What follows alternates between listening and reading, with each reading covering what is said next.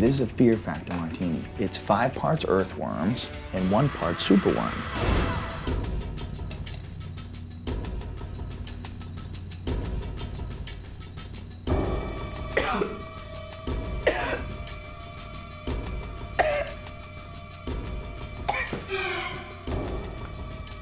You can still eat them. You still have time. Please, don't be afraid to grab them.